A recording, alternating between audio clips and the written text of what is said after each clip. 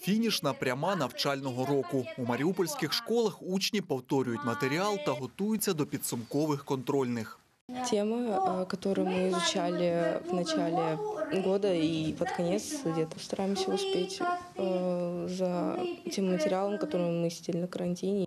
Повністю засвоїти програму дозволив дистанційний формат, вважають педагоги. Тож розтягувати навчання на червень не потрібно. Если даже где-то какие-то заминки произошли, учитель в течение сентября может все это наверстать. Дистанционное обучение тоже не дается очень легко. Дети очень много времени на, и на самообразование уходят, поэтому они уже тоже устали.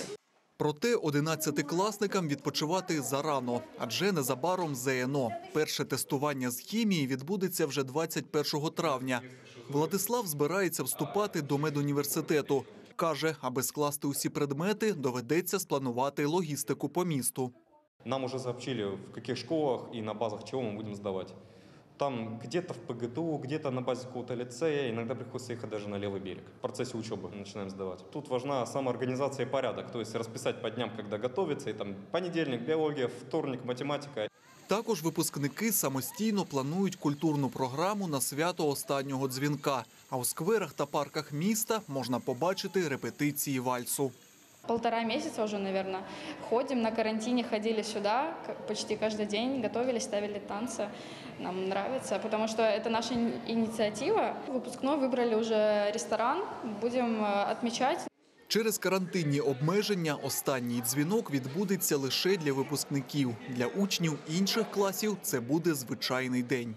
Тому ми зробили лише 11 класи, щоб була певна відстань, ось, щоб вони були одягнуті в масках. Так само буде обмежена кількість людей у шкільному, на шкільному подвір'ї. У департаменті освіти кажуть, базової дати закінчення навчального року в Маріуполі немає.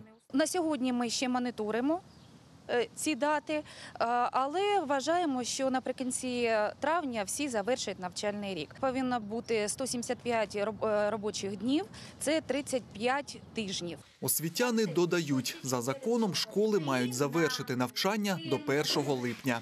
Максим Чумак, Сергій Чакригін, телеканал Донбас.